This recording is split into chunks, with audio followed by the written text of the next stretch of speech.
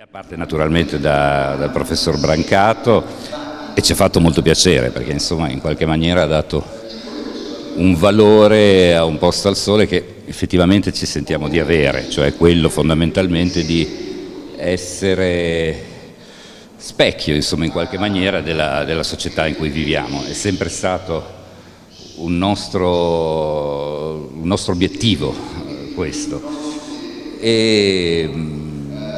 il successo, il segreto del successo, naturalmente come diciamo spesso, se noi avessimo una formula o una ricetta per, eh, che ci garantisce il successo avremmo molti meno problemi, insomma faremmo una vita più... Per cui il successo di un posto sole comunque penso che sia soprattutto in questo, insomma, nell'essere riuscito a creare una familiarità eh, con il pubblico, con un appuntamento quotidiano che la gente ha vissuto come una realtà, se vogliamo, parallela e che comunque fa parte del, del proprio vissuto.